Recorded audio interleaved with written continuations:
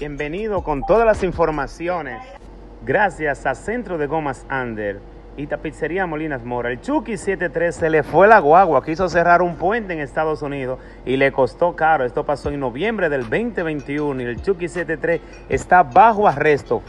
Eh, todas las investigaciones dadas eh, culpan al Chucky 73 por una falta de respeto hacia los ciudadanos de, New York y su manager da informaciones de que esto fue un, mal percance, que esto no puede volver a pasar y que prontamente Chucky 73 estará libre en las calles. Espero que entienda que él no estaba en RD y que esa movie no puede estarla haciendo. El Chucky 73 arrestado por estar pa- parando un puente y parando el tráfico en New York.